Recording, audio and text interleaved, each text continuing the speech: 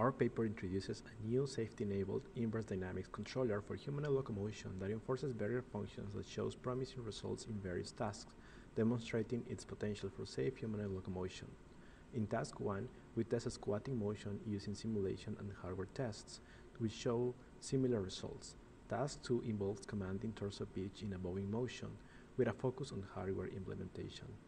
Task 3 explores safety features by commanding asymmetric reference motion while preventing the left arm from crossing a threshold. In Task 4, we use a single support sequence for walking using the ALIP model, observing a constant center of mass height and accurate same foot placement.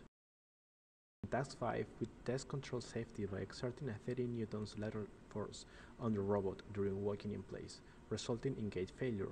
Finally, in Task 6, we enforce a barrier function that prevents collision between the feet and allows the robot to recover balance.